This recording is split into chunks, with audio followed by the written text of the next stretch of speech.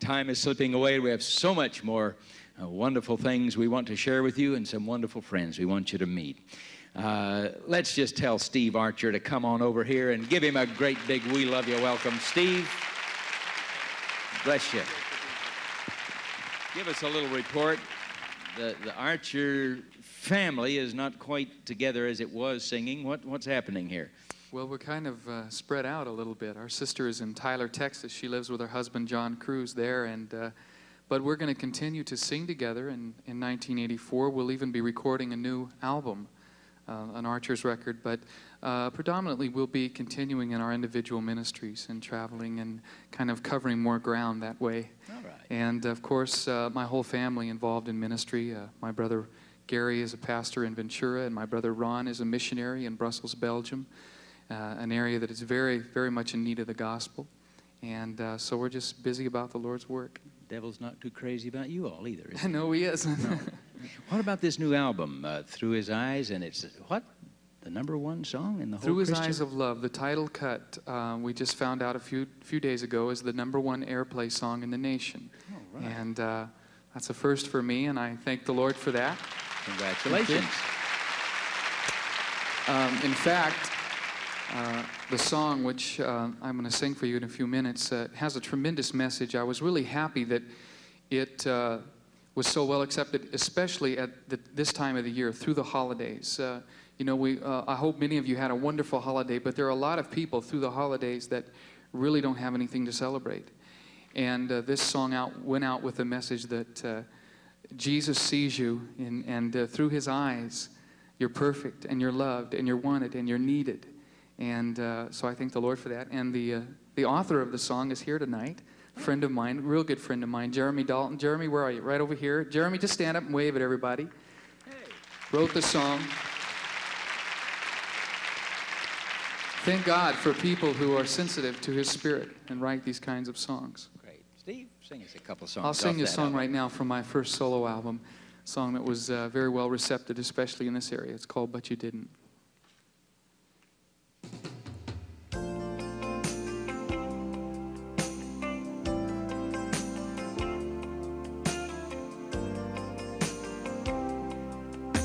You could have given up on me when I refused to hear the things you had to say, the words that were so clear.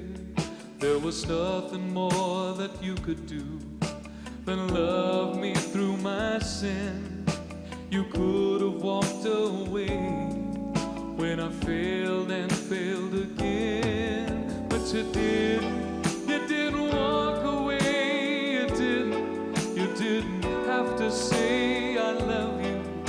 You love me just the same.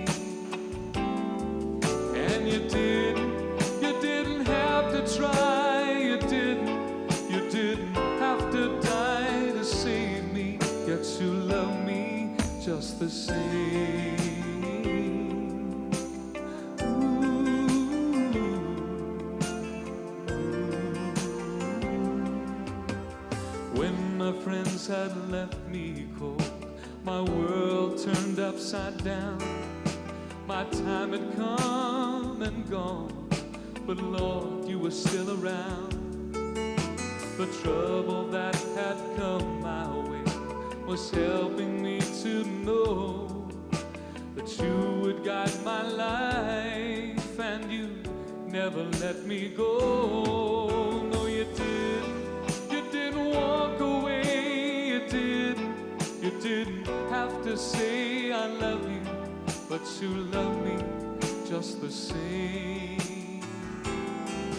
And you didn't. You didn't have to try. You didn't. You didn't have to die to save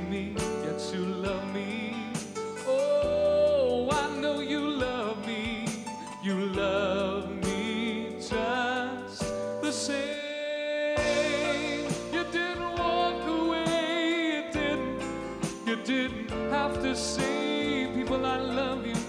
Aren't you glad he said it anyway? No, you did. You didn't have to try. You didn't. You didn't have to die to save me. Yet you love me.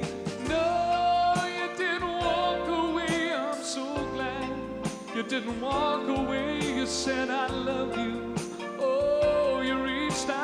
loved us anyway. No, you didn't. You didn't have to try. You didn't. You didn't have to die to save me. You love me just the same.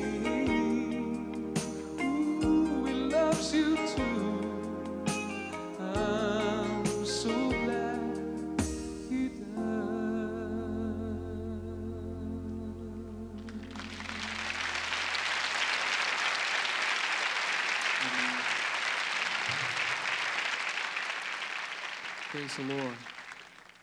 Aren't you glad that Jesus became that supreme sacrifice for our sins? He who knew no sin became all of our sins that we might experience eternal life, that we might have joy and that more abundant, an abundant life here on earth.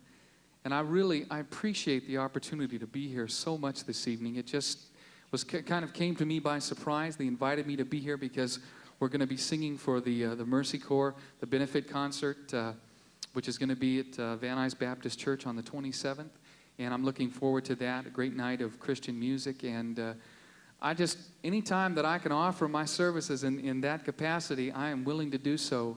Our group has had opportunity to do missionary work in Europe and in South Africa. And I'll tell you, folks, it, it never leaves, it never goes away once you've had an opportunity to minister to people and uh, to see the film that we saw from Grenada tonight that really ministers to me. And I want to be a part of that, and I hope you want to be a part of it too, to minister to people all over the world. Isn't it wonderful that we have a way of, of being in our town and in our home and on our street, yet reaching all the way across the world to someone else and taking the gospel and the message of salvation and hope, hope that they have in Jesus and through Him. We can lift them up in prayers. Even if we can't give, we can give them our love and our prayers and our support. I want to sing the song for you now. This song means a lot to me, not because it's number one, and I, I thank the Lord for that, but, and I hope that that recognition will just continue to get the message out there that much further, but because we need to see others through His eyes of love. And uh, we need to see each other through His eyes of love. Guys, just a minute. Cut. It's the wrong song, guys. Don't want them to get the wrong song there. I think it's the one right before that. I'm really excited about uh, my new record. My Christian, uh, my Christian producer, named Chris Christian, uh, who produced the record for me, did a terrific job. I enjoy working with him, and uh, I think I really feel like uh, a kid in a candy shop just having the opportunity to, to sing for the Lord. I feel blessed to have the opportunity to do that. And really, whatever your hands find to do, find to do for the Lord, do it. And do it with excitement. Amen? Be excited that you're a part of the family of God through His eyes of love.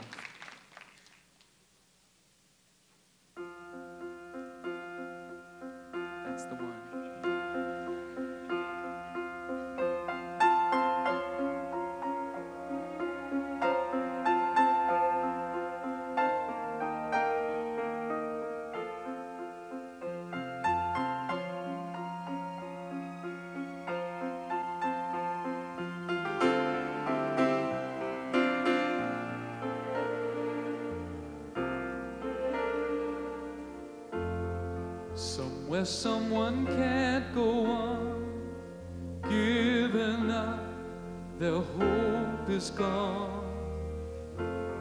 And somewhere there's a heart that cries, where everything is seen through sorrow's eyes.